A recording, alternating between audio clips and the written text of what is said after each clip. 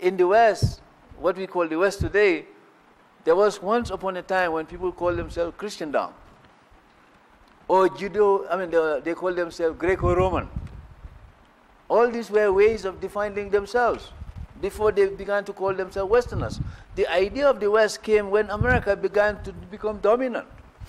So you couldn't say those people are on the East, Europeans are in the East. So you have to expand the Western European idea to embrace the Americas, or you talk about Euro-American civilization, whereby you create a construct to link the American experience. But even if you say Euro-American experience, how about the Australians? How about the uh, New Zealanders? They came out of Europe too. So, if, so, so the easiest term you can use to embrace them collectively is the West. So you come up with the West as an idea. So this way, the idea of the West, and you begin to see that even the idea of the West during the Cold War embraced the Japanese, who are racially not part of the European experience. You see what I'm saying? But because of the Cold War, you could lump Japan as part of the West. Even Korea, South Korea, was part of the West. Even though they had no military alignments, but they have American military bases there.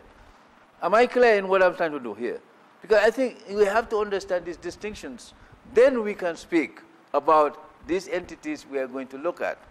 Now, it is against this background that we can talk about Islam and the West in the sense that you're now talking about Islam as a religion and the manner in which it expands itself globally.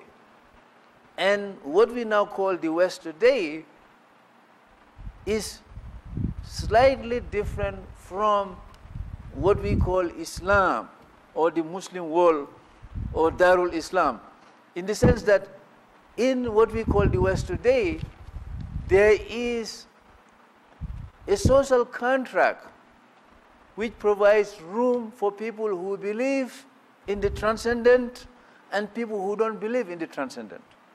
Because today, if you look at America, there are people who are atheists, but they are as American as anyone else.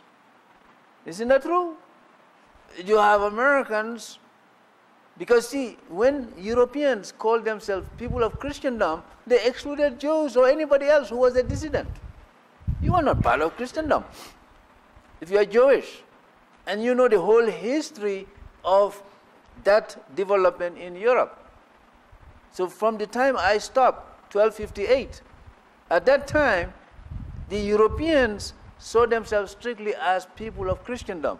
But if you go back to 1258, at that time, Islam was gradually beginning to expand into Africa, and not most of those people are converted to Islam. Islam was beginning to move towards Malaysia and Indonesia. It will be only after the 1500s that people we now call Malaysians and Indonesians were beginning to be exposed to Islam. They were not Muslims.